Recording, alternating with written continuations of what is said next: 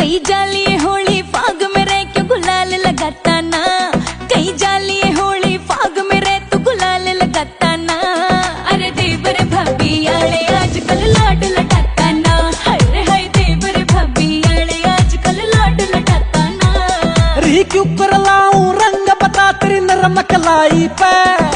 क्यों कर लाऊं रंग बता तेरी नरम कलाई पे?